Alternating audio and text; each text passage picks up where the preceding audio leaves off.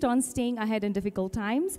That's why, as we navigate the challenges of the business world, the ability to adapt, innovate, and thrive in difficult time has become a true testament to our resilience as well. Our next session promises to provide valuable insights on this very topic. Allow us to introduce the distinguished Mr. Harkirat Bedi, and he is an esteemed professional in the FMCG industry with over 24 years of experience and an impressive 21 years dedicated to the esteemed Dabur Group. Mr. Bedi's journey spans diverse product categories and global regions. His expertise has left an indelible mark on FMCG landscape, having excelled in pivotal roles encompassing sales, marketing, business development, and international business. His footprints extends across India, South Asia, and Southeast Asia. A true testament to his excellence, Mr. Bedi has earned the honor of being recognized as commercially important person not just once, but twice by the Ministry of Commerce. Please join me in welcoming our keynote speaker, Mr. Harkirat Bedi, Business Head, SAARC Business, Dabur Nepal Private Limited, on the session, Staying Ahead in Difficult Times. A huge round of applause for him, please.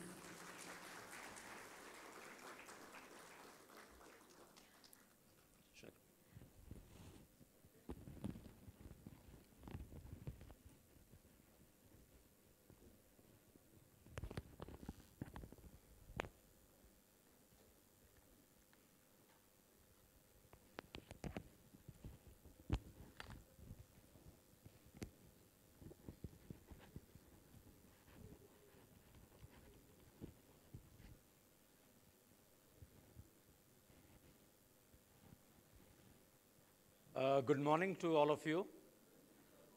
Yeah, uh, at the outset, uh, I would like to thank Mohan Oja ji and uh, Growth Sellers for giving me an opportunity to speak uh, at this very important sales summit. Uh, very grateful, very honored, very humbled for this initiative of yours.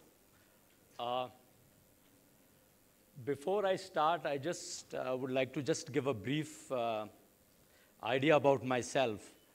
Uh, I worked, I started working in Nepal from 2007. I've held various roles in Nepal and India. And I'm largely, I started my career in sales. So I think uh, I would relate to most of you in this room, and most of you would relate to me. Uh, as we go forward, uh, the topic that I was given was staying ahead in difficult times.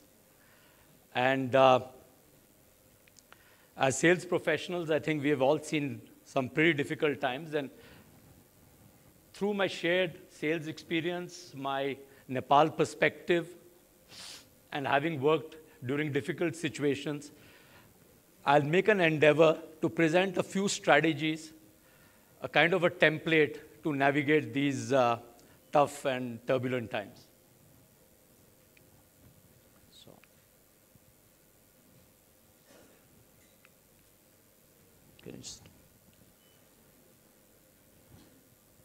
the slide, uh, yeah.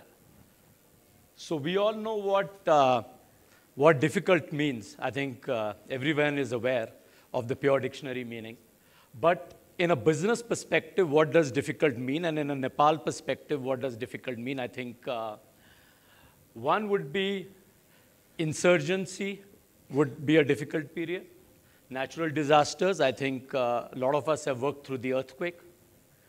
Economic blockade, international conflicts, and recession or periods of low economic growth. So this presentation, we will essentially focus on how to operate in a recessionary environment, in an environment which is characterized by low economic growth.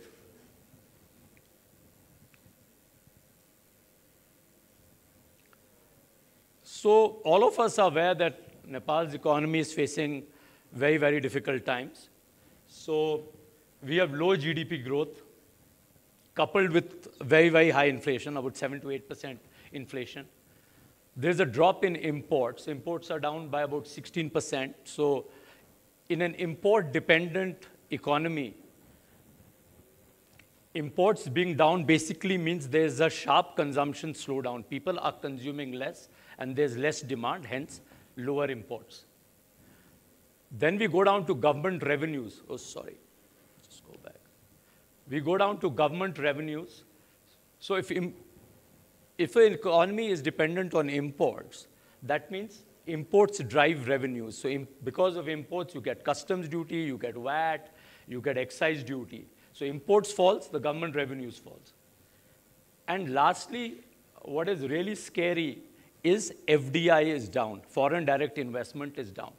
For an economy to grow at about 6%, like Nepal, you need foreign direct investment to come in.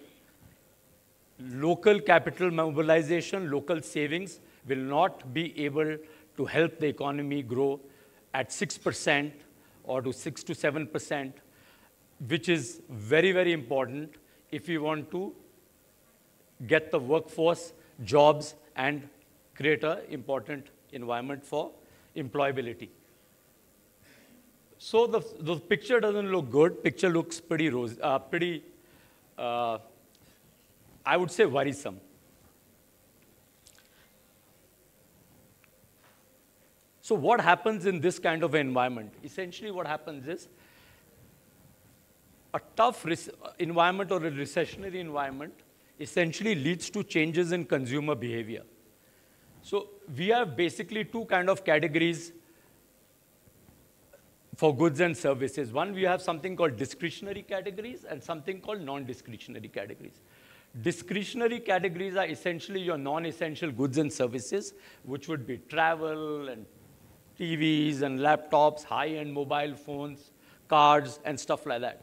So in this kind of environment, these categories get pretty badly hit. And you see sharp slowdown in sales, and you see purchase postponement or basically deferment in uh, purchases. And this these categories get highly impacted. Now we come to non discretionary categories, which is essentially essential goods and services and, some, and, and basic necessities. Here, we see there is an impact. There will be a decline in sales, but it's relatively less impacted. So what happens in these categories? And these are the categories in which uh, Dabur operates. So this is my area of expertise, so I'll, I'll deal on this. You see greater value seeking. So your consumers want price offs, your consumers want promotions, your consumers are looking for discounts. People become more value seeking in tougher times. Then you see what happens is down trading. So people go from main brands to say cheaper brands. Or people go from branded goods. So you buy a, a branded shirt, you go to an unbranded, say a, a brand, uh, unbranded uh, garments or clothes. Then you see basically a, a shift in packs. So with less money in the pocket of consumers, you will see that, you know, if you wanted to buy a one kilo product, you might say, okay, yeah, let me buy something 500 grams or 250 grams. So you, you move from large packs, you move to small packs. And what happens in these tough times is people become more and more price conscious. So 5 rupees, a 10 rupees, a 50 rupees, 100 rupees, price points become very, very important.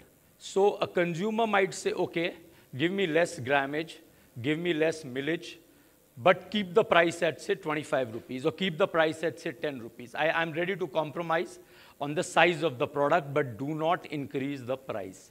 So this is also very, very relevant in these tough times. That's why people don't increase prices.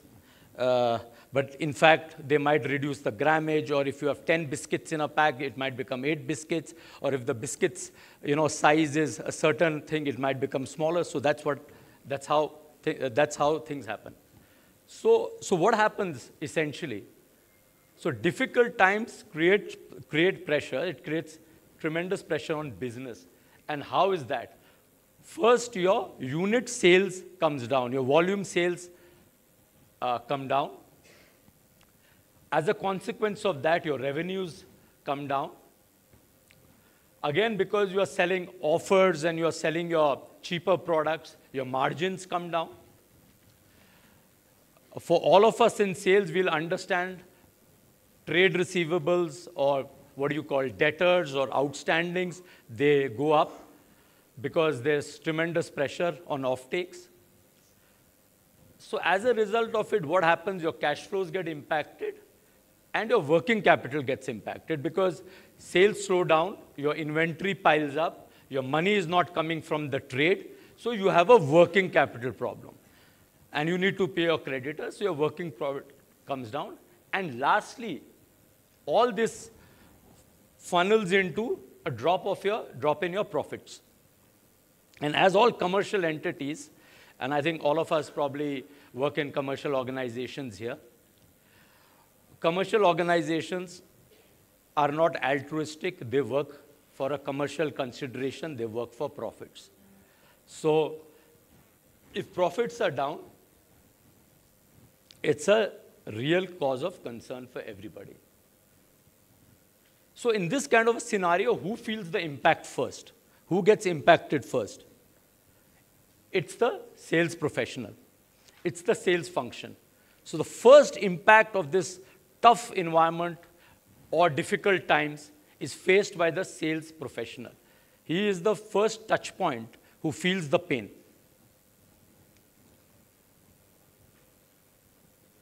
However, I think all of us have worked in very, very tough times, and sometimes things are not as bad as they seem, and sometimes things are not as difficult as they, seem. So, however, it's not all gloom and doom. We have to understand that we have to operate in these environments and do the best we can.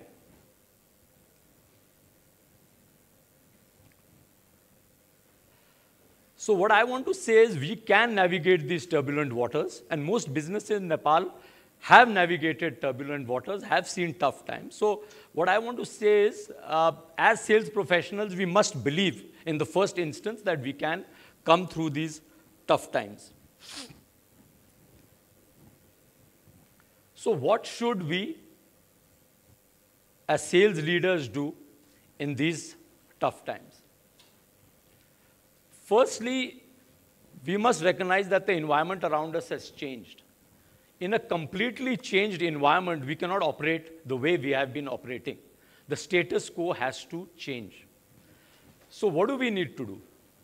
We need to recraft our current sales strategy. And that sales strat strategy must be meshed in with very strong execution. However, what I want to tell all of you in this room is that execution will not be possible if we do not prepare our teams accordingly. So, what do I mean by preparing our teams? I mean we need to inculcate some strong behavioral habits, especially during recessionary and tough times, so that the team can uh, tide over uh, this phase. So what here, what I want to say is, as sales leaders, in this point of time, we need to keep our teams motivated. We need to have a growth mindset. A growth mindset essentially means a problem-solving mindset, a mindset which challenges the current situation and wants to get out of it. So essentially, something completely opposite of a complaining mindset. So you need to inculcate a growth mindset. You need to build in a certain degree of resilience and perseverance into your team. You have to prepare them for the tough times. Then we move into something called agile. Agile means we should be able to take notice of the in immediate environment and act quickly. You can't spend too much time pondering and thinking. So your teams have to be agile. The environment is changing every day. And again, you need to be adaptive and responsive to the situation around you. So if you, you in these times you have to be constantly on your guard. It's not business as usual. So what I'm trying to say, any degree of strategy, any template, any plan will fail if the execution is not strong. And strong execution will only happen if your team is prepared with these behavioral traits, or you have to drive these behavioral traits. So when we are talking about recrafting our sales strategy in these tough times, I'm looking at essentially six buckets. One is, how do we look at our product portfolio as a sales professional? What do I, how do I look at my customer, customers or customer development basically means my channel partners. How do I look at my uh, dealers? How do I look at my retail? How do I look at my wholesale? So how do I look at all my channel partners who help me sell? And how do I even look at my customers? How do I look at costs? Basically, the sales and distribution costs. And then we come down to what can we do in terms of IT, informational technology, as far as the sales force is concerned. The next bucket is KPIs. My KPIs need to change in this environment. So how do I redefine my KPIs to match the current economic realities? And last is, what do, can I do in terms of coaching and mentoring my team in these tough times? So largely, I will just take you through these six buckets and what uh, we can do in each bucket to basically uh, prepare for these uh, turbulent times. So let's start with the product portfolio.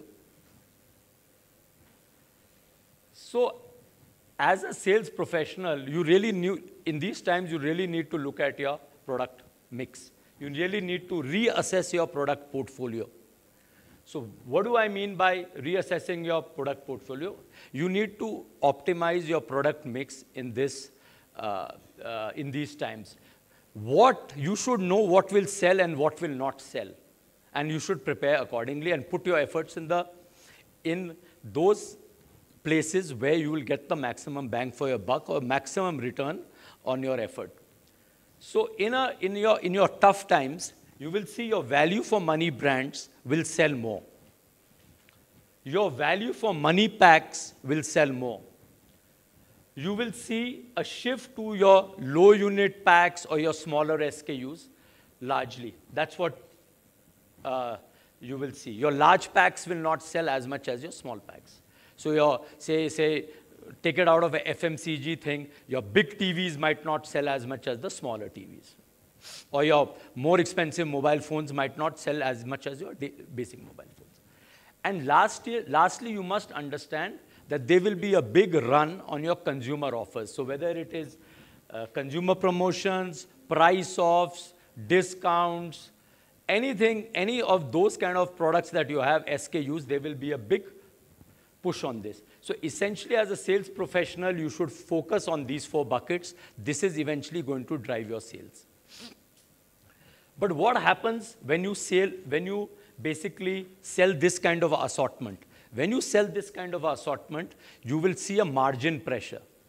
So you will have your bosses, you will have finance, you will have everybody saying, ki, you know, the margin is getting diluted, margin is getting diluted, we are not making enough money. So somewhere we as sales professional also need to don a business hat. We all the time cannot be just looking as being a, just a salesperson and selling. We also need to have a larger perspective, don a business hat, and see that how can I make up this loss in margins? Can I make some effort and sell some high margin products that I have? What can I do? It will be difficult, but can I sell some high margin products? Also, in these tough times, you should always be scanning for any opportunity sales that can happen. Always. Like in Dabur just now with dengue, we, see, we are seeing a huge opportunity sales in our Odomos packs. So you should, as a sales professional, be able to scan the environment, get early warning signals, see where can I get the opportunity, and then prepare the organization and said, opportunities are coming in space A, B, C. Please produce these products. Please make these ready, readily available so that I can sell. So this is how we, one can look at your product mix. Be aware of what will sell and push those SKUs or brands or products accordingly. Next is we are looking at customer development. As far as customer development means, basically means we should support our channel partners, we should support our, our dealers, we should support our wholesalers, and we should support our retailers. But what do we mean by support? Because money is limited, money is a constraint for most organizations. You cannot keep everybody happy. So, so who do we keep happy in these times or who do we protect in these times? The question is you have to protect the core. I think everybody knows Pareto's principle, 80-20, 70-30, whatever you call. 70 to 80% of your business comes from 20 to 30% of your customers. So in these tough times, I think that 20 or 30% of your customers, you have to basically ring fence.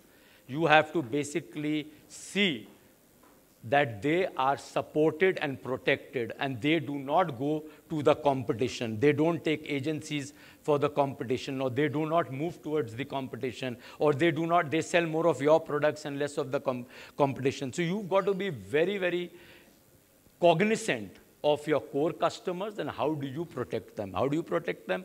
You give them special offers, you give them extra credit, you help them with channel financing, so they have to get a differentiated offering than what your regular dealers are getting. So they have to feel special in these tough times and they have to feel that, yes, the company is looking out for us. Secondly, is the omni-channel presence approach. Whenever things are tough, we just can't be very, very fixated in our thinking of saying, I will only sell in general trade or I will sell only sell in modern trade. You have to have an omni-channel approach.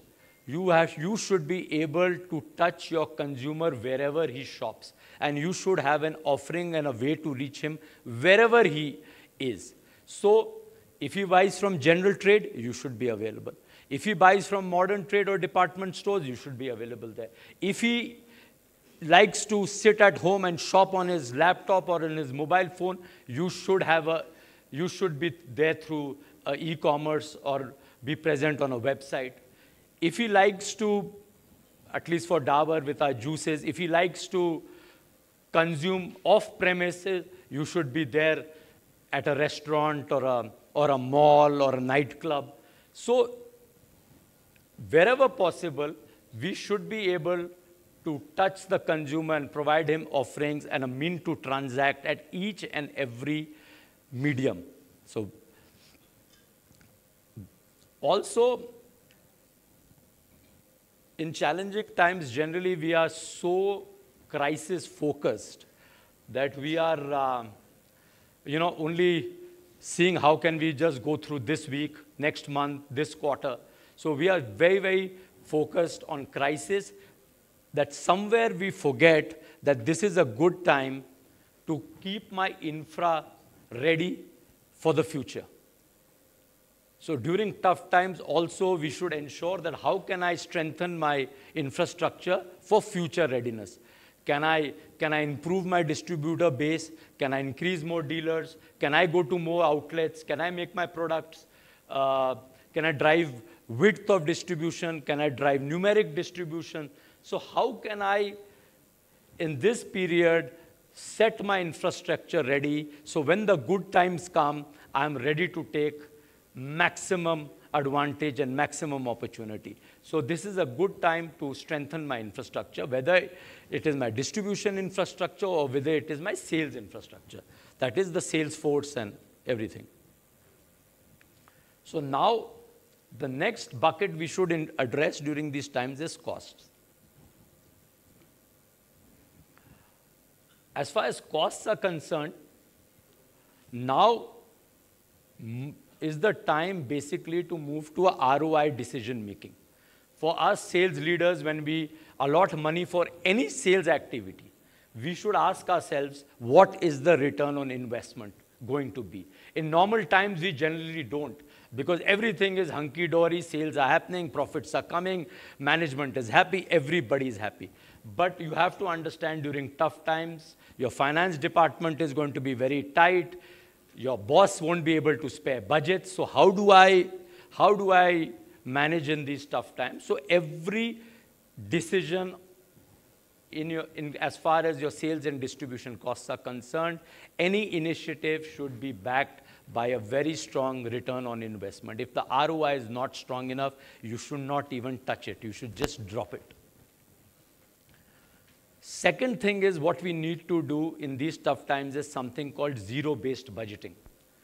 Zero-based budgeting means is, is the opposite of incremental budgeting. Suppose we have a cost, any cost, say van expense or something, or any distribution cost. Normally, how do we budget? Okay, this year it was 10 rupees, next year I make, I'll take a 10% increase, it will be 11 rupees. So that's how normally we budget, incremental budget. But in tough times, we need to do zero-based budgeting. We have to ask ourselves, is this cost required in the first place or not? If last year I spent 10 rupees, can I spend zero or can I spend two? Do we have to question each and every cost? not get into incremental mode, okay, last year I spent 100 rupees, I'll budget 110 rupees this year. No. We have to ask ourselves, do we really require this cost in the first place? Can we do without it? So that is zero-based budgeting. So that's what we need to look at. And the third thing is, if you want to uh, save costs in this period or be very cognizant of your spending, you need to have very strong cross-functional alignment the first warning signal of a slowdown or a pressure cooker situation is with sales.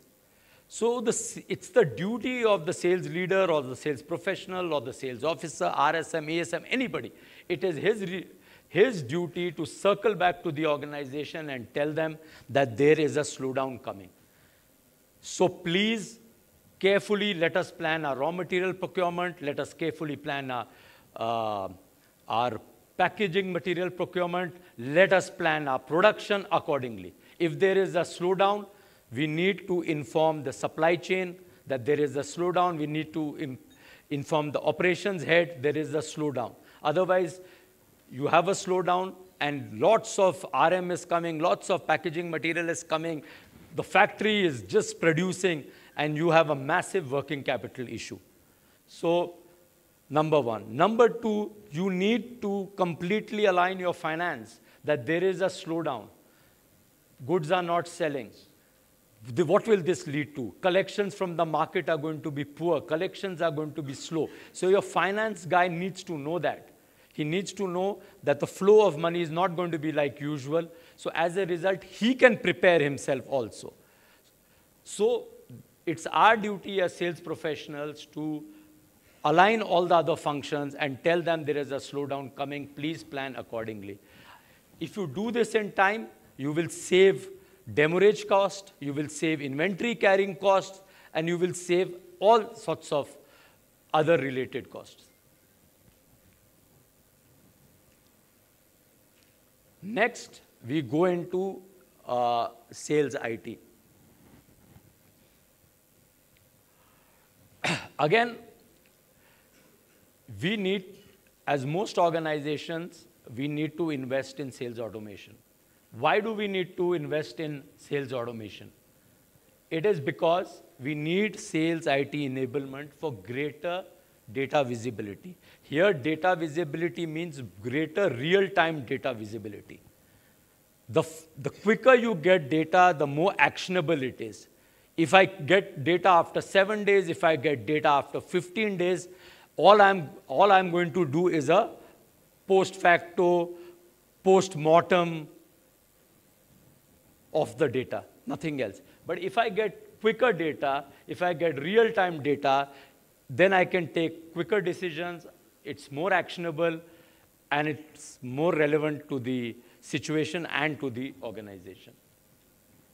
So again, when we talk about, uh, at least from a FMCG perspective, uh, when you talk about uh, automation, we are talking about distribution management systems. We are talking about SFAs uh, in the market. So this, this becomes very, very relevant uh, in the current context. So how does this help? First, it will help you in your go-to-market model. So basically, greater data visibility will tell you which are the outlets you should concentrate, which are the SKUs you should look at.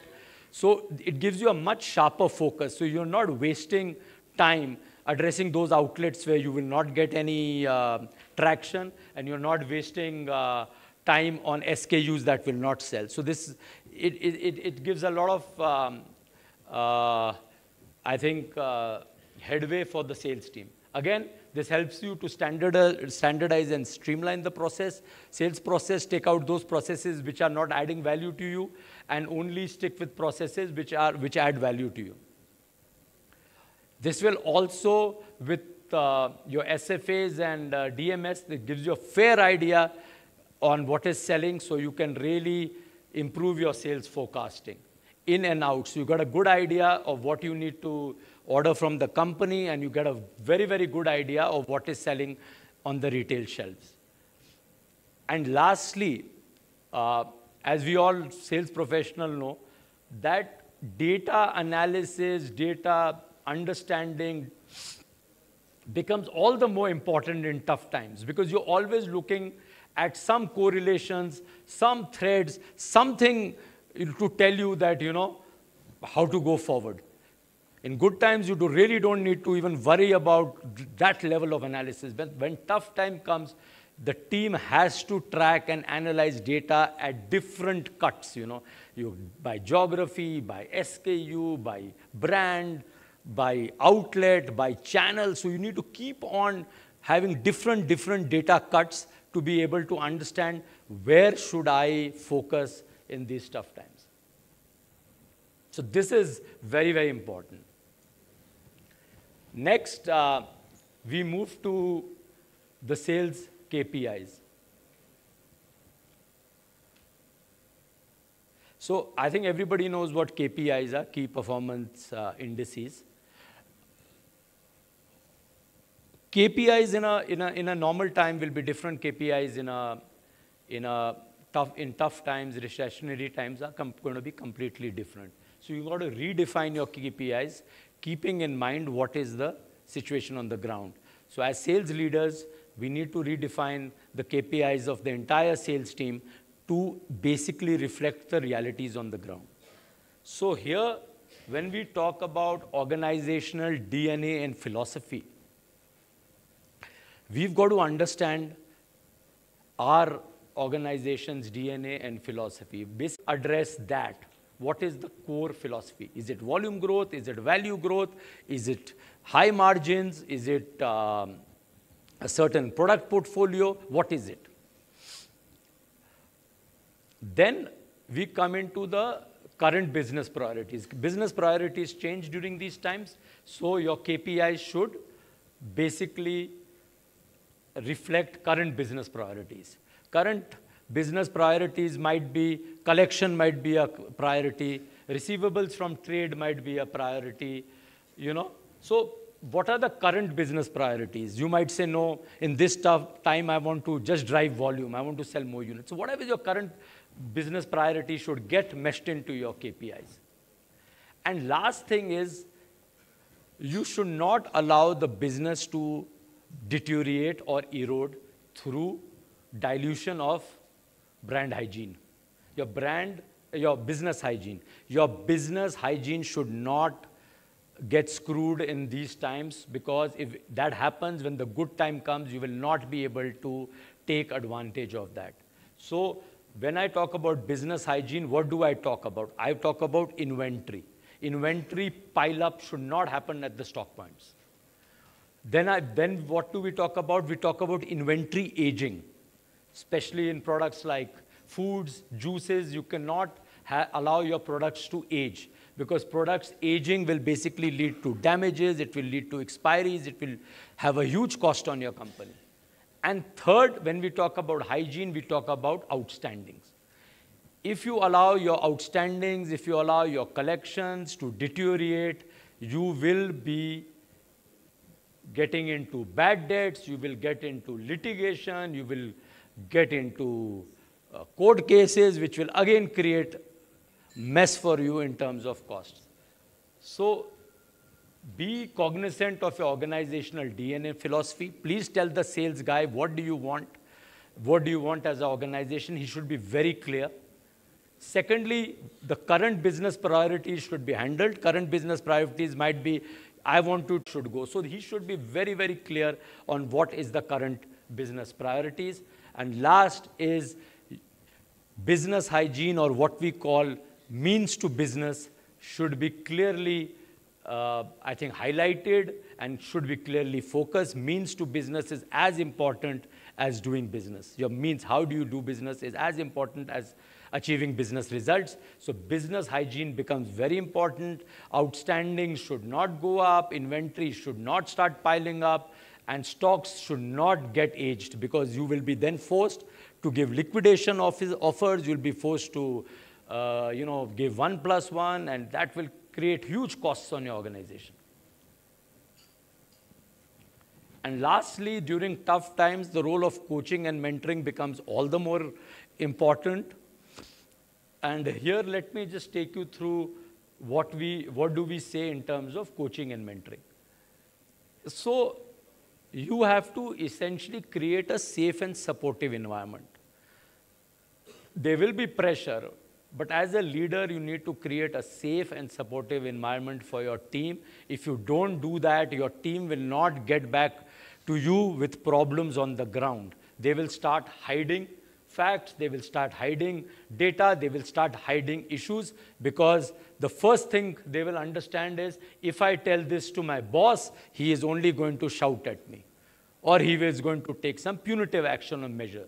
So if you are able to create a safe and supportive environment, you will get to know from the ground level up what is the situation. So that is, becomes very important and you'll really get to know what is the thing. If your team hides data, uh, if your team hides data, if your team hides facts, and if your team is not open and transparent about what is happening, you will never be able to come up with solutions or you'll never be able to tailor make any solutions uh, to help them. So it will be garbage in, garbage out. Next is empowerment and accountability in these turbulent and tough times, decisions have to be taken on the spot. So you have to empower your, your teams. If you, if you have a very rigid command and control structure, where every approval for every small thing needs to be taken, your teams are not going to be able to take action quickly. They need to be sufficiently empowered so that they can take action. If they are sitting at a dealer point, they, are, they should have that empowerment to take action. If all the time they have to ring up their boss, their boss will ring up his boss, his boss will ring up his boss. If you have a very, very slow uh, communication system and you have a very strict command and control kind of a structure, you will not be able to be agile enough in these in, this, in these times. You will be inflexible and you will pay for it. So empower your team and make them accountable. Say, I'm giving you enough, enough power, I'm giving you enough uh, leeway, but you need to be accountable, you need to be responsible, and you need to deliver to the best of your abilities. Then we go to the third part, which is foster learning from shared experiences. Here, again, in a sales team, there has to be greater connect, there has to be greater communication within the team. Lots of companies use WhatsApp, uh, Viber, different platforms for the sales team to communicate. Here the question is, one person can share with the other what has gone well in his geography, how he has managed a situation. These shared learnings help the team Sales officer A can say what did he do well, how he succeeded. Sales officer B can tell his strategy. So there, there is a pool of uh, knowledge and a pool of resource, and we have shared experiences. Here also what I would like to say that everybody's team has um, some senior people, some junior people. Senior people would have seen tougher times, junior people would not have seen. So we need to pick the brains of the senior people and we need to tell them that, you know, please share how you operated in very, very difficult and tough times. Please share it with the rest of the team and uh, also motivate them and tell them that they can come through these difficult times. So that also, your senior resources will, be a, will play a key role in this. Lastly, upskilling, and this is a good time to upskill and reskill your, your teams uh, because it's a changing uh, environment. So this is a good time to do that. And lastly, uh, what we are saying is constructive feedback. So here again, the thing is, um, you know, a lot of times we as sales professionals uh, always say, uh, you know, don't bring problems to us, bring solutions. So I think that approach does not work. Uh, we have to jointly address the, the problems and solutions with our team. I don't think the teams can just bring the solutions. And also we need to give them feedback in these times, but that has to be constructive feedback. Constructive means we have to give them pointers on how they can improve their performance rather than just telling them, ye nahi ho raha, wo nahi ho you know, that kind of a thing. So it's got to be okay. You're not able to deliver on these uh, KPIs. This is how, this is what I feel as a sales leader or as your boss, you can you can work on these areas. So there has to be a constructive feedback, not just a negative or a meaningless uh, kind of a feedback. So I think uh, it's become more and more uh, clear that we are living in a VUCA, increasingly VUCA world. And uh, that's, that's a reality. That's not going to go away.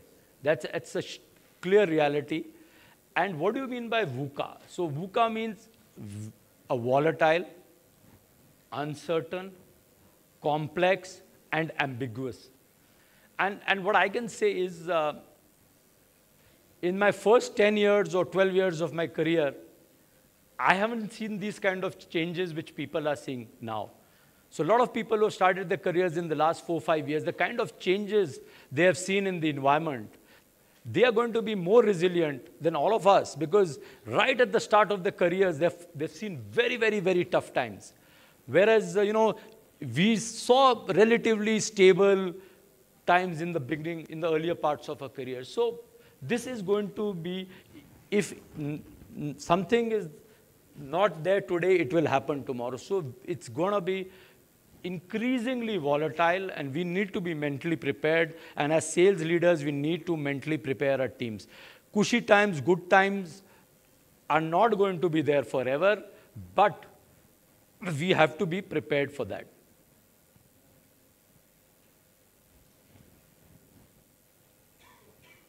So the way to get started is to quit talking and begin doing. So that's what I'm going to do now. I've come to the end of my presentation, so I'm going to quit talking, and I'm going to urge all of you in the room that you should start, you know, doing and uh, basically have an action for bias, uh, uh have a bias for action, sorry.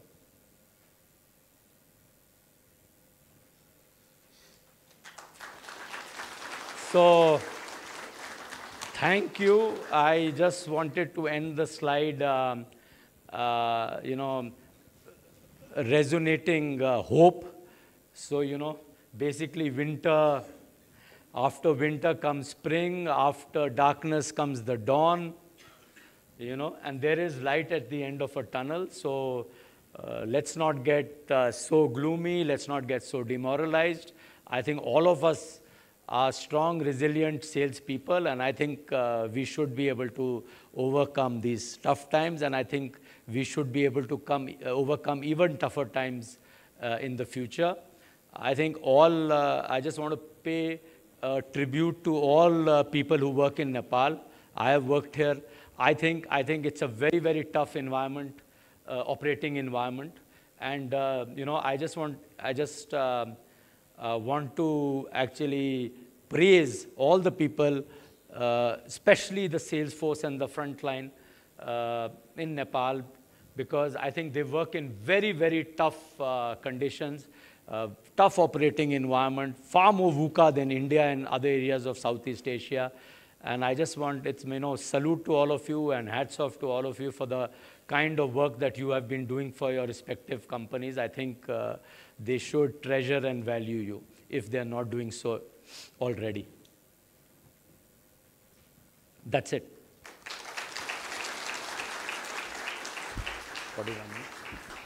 45 minutes. Thank you so much, Mr. Bedi, for all that insightful session. We'll do the discussion, but we will take some questions from the floor. Um, केही प्रश्नहरू छ भने we'll take three to four questions.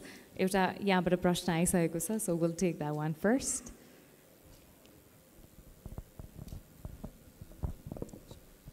Thank you, uh, Mr. Bedi. So we are really privileged to have you in this session. Uh, I remember uh, some years back, you were in Nepal. Uh, there was a big problem in the juice. You know, some foreign stuff uh, was found, and you know the way it was portrayed. Uh, how did you deal with that uh, situation? You know, because I believe Dabur's core business is juices. So how did you deal with this with that situation, and how did you come up at this current situation? Thank you. Uh, yeah, we had a problem a couple of years back. I don't want to go into really uh, what led to that.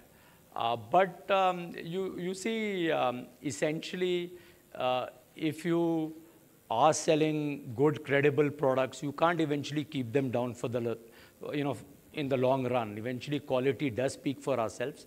But I think at that time, what we essentially did, we, you know, took a number of measures essentially to basically re-establish the quality of our products, re-establish the superiority of the products, and basically re-establish the credibility of our products. So I think we had done, uh, we had, uh, we had done a couple of advertisements using some uh, celebrity influences from different walks of life who talked about the credibility of our products, people who used to use our products from uh, different fields. We did that.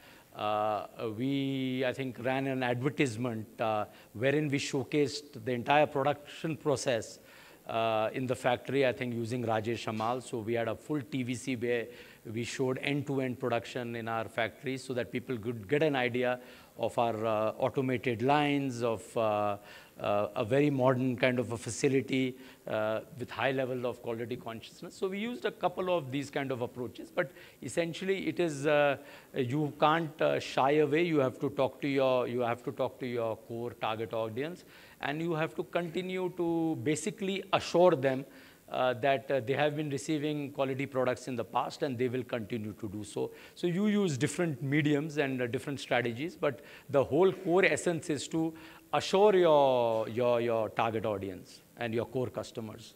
That is it. Thank you so much uh, for the answer, and we'd like to move ahead with the next question. Um, I'd also like to encourage some questions from behind the hall as well, if there is any. Sir, uh, like in your presentation, you pointed out that uh, uh I'm talking in terms of honey, honey market. The local brands are taking Actually, the local brands, what they are doing is they are uh, using guerrilla strategy. They're looking, okay. Yeah, yeah, exactly, guerrilla strategy. Because uh, uh, the thing is the approach is same, but you get different uh, challenges when you uh, talk in terms of east eastern market or when you terms of talk in terms of western market or Kathmandu market or Tarai market. You have different different things. But uh, how, how have you approached or what, uh, can you share that? So that because we are also facing something like that. Uh, what, yeah, you're right. Um, see, with a lot of um, organizations like us, we have a, you know, we have a standard operating kind of a procedure.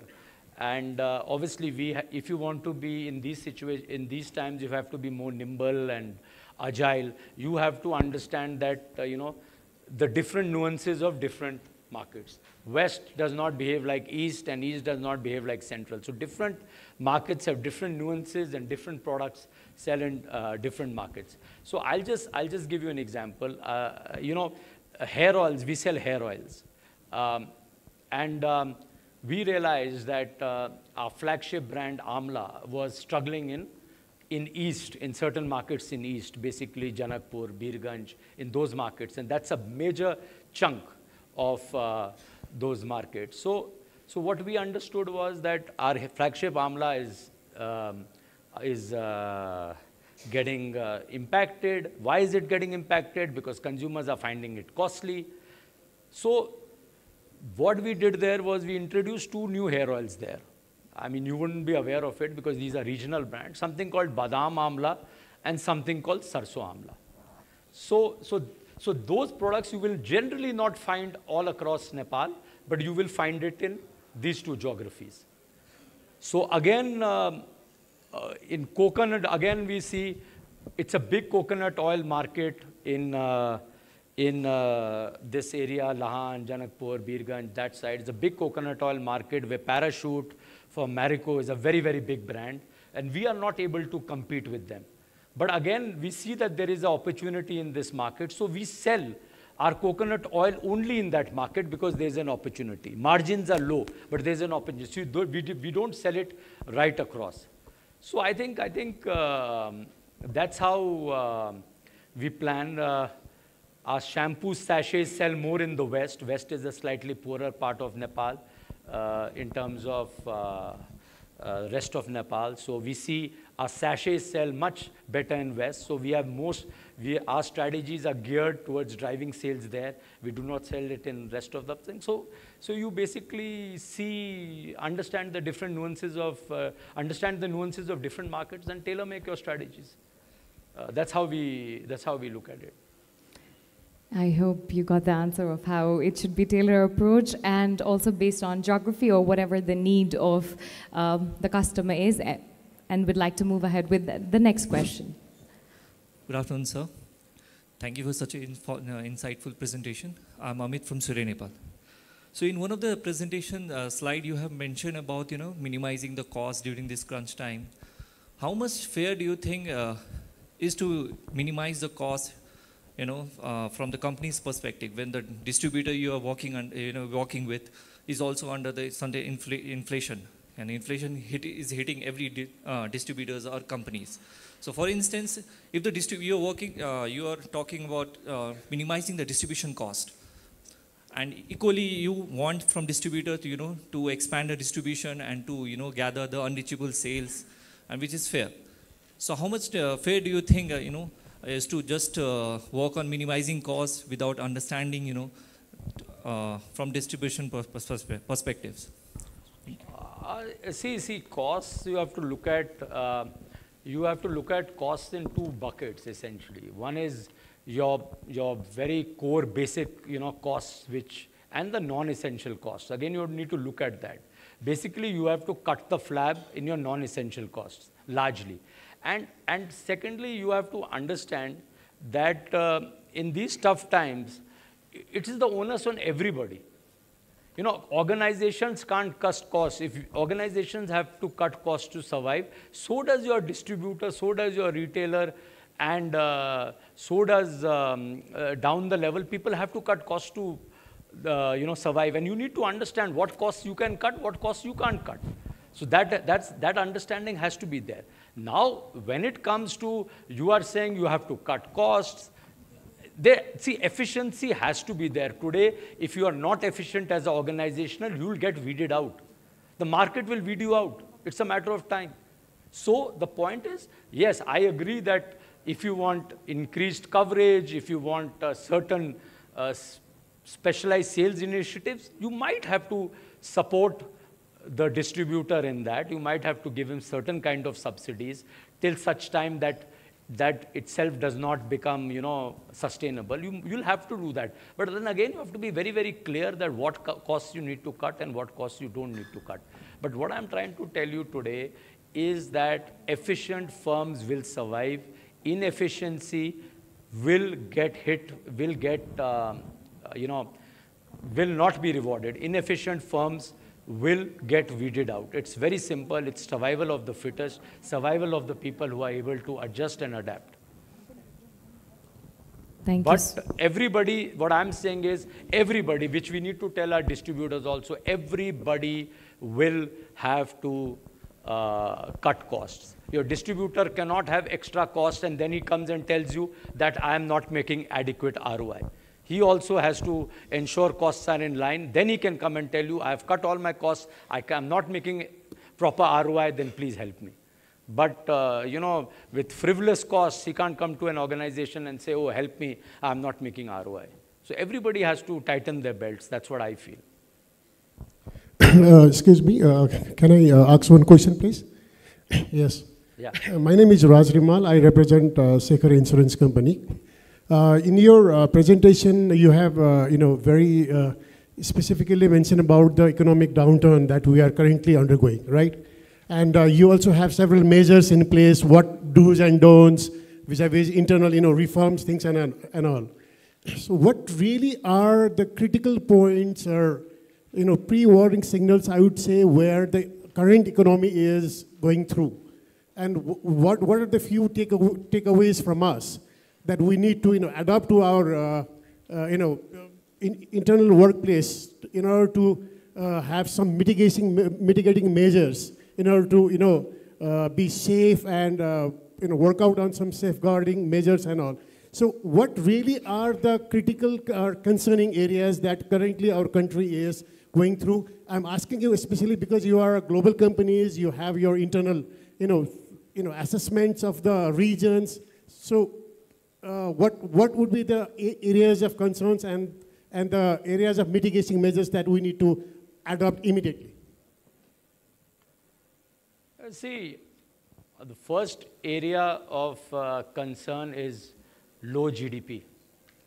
If, if um, the basic economy is not growing, how do you expect growth for your own goods and services? It's very, very difficult. So the first question is your GDP is not growing. So that, that is a major cause of concern. Nepal is a country with a low base. And generally, we in SOILS know where there is a low base, the quantum and opportunity for growth is higher. Countries with very, very high basic GDP find it difficult. So if India can grow at 5 to 6% with that size of GDP, uh, Nepal growing at 2% is a major cause of concern because the GDP is small and the headroom for growth is high. So slowing GDP is the first sign that trouble is on the way. So number one. Number two is inflation. Inflation at 7.5 to 8%, which is the NRB inflation, which a lot of people say the real-time inflation is even higher. So 8, 8, 9, 9% inflation. You know, how is a consumer going to consume? I mean, he is going to cut back. So again, if you are in, as I mentioned, if you are in discretionary categories, you are going to be in for a very, very tough ride. Because people will purchase, postpone their purchase. You know, a lot of discretionary categories are linked with uh, interest rates. You must understand if I want to buy a car or if I want to buy a big TV, I need to borrow money. When you go to borrow money, the interest rates are very, very high. So, you know, and it's not easy to get loans. So again, that's another problem. So all this is basically coming down to one thing. It is consumption is slowing down. If the government revenues fall down, how is the government going to be able to invest in the country? Again, so that's again a big, big problem because government revenues are required to pay government salaries, required for development, required for this. And then last, as I was telling you, is FDI not coming in. FDI comes in, jobs come, they create jobs, they create employment. So, so the whole, it's a big spiral actually. That's what um, we are seeing. So all this is basically leading down to consumption slowdown, less money in the pockets of the consumers. So I think organizations in this time who basically can give more and more value to both the consumers or who can give value to the trade, will survive. Because people should see value proposition in your offerings, then only he will take out money from your pocket to basically uh, to give you. So more and more value you create uh, for the ecosystem, whether it's the dealer, whether it is the consumer, you will uh, survive. But uh, if the value proposition is not there in tough times, uh, it's going to be different. So as an organization also, though we are salespeople, at organizations also we must understand we have to rejig our portfolio. We have to constantly get products which are going to resonate with the consumers. If I sell very, very, you know, mm, uh, high cost products, I need to have some lower variants, some cheaper variants. I need to be agile. Otherwise, it will become uh, very different because we are also seeing in our business huge amount of down trading happening.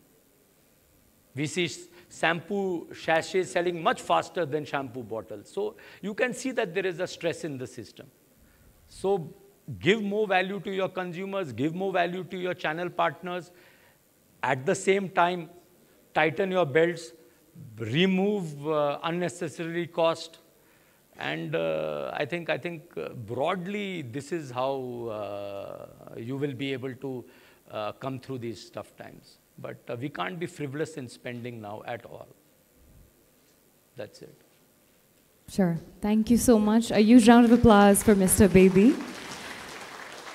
Well, as I mentioned how insightful his session was, um, for now I'd like to invite Mr. Mohan Oja, Chairperson, Sales Summit Steering Committee, to please be on stage as we um, appreciate and definitely say for this important co- uh, keynote speech. Thank you so much, Mr. Bedi.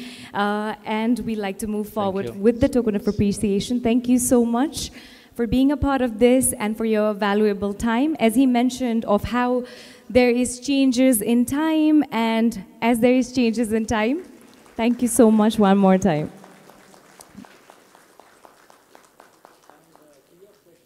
more thing is, uh, uh, what I uh, forgot to mention was migration is at an all-time high.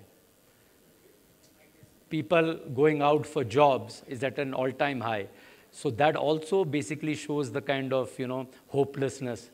Uh, you know, why do people migrate when they do, when they are seeing that the situation on the ground is not conducive to pursue their dreams? So uh, migration is an all-time high. So that also shows that, you know, there is a genuine stress in the system. Thank you. Thank you so much. Take Thank, care. you, both of you. Thank you, sir. And I'd like to request you to please be seated. As he mentioned about value proposition, I think that is one context we need to always remember. And different contextमा जस्तो context छ त्यस्तै related जोग्राफीको कुरा गर्नुभयो अथवा निडको कुरा गर्नुभयो it's not just based on geography but it's based on overall what is needed and what we give भन्ने खालको एउटा पर्सपेक्टिभ चाहिँ राखिदिनु भएकोमा thank you so much and also as he mentioned in this difficult times I really like how he provided the recrafting sales strategy. It was very clear and uh, and very concise as well and lovely presentation. I really like the visual as well.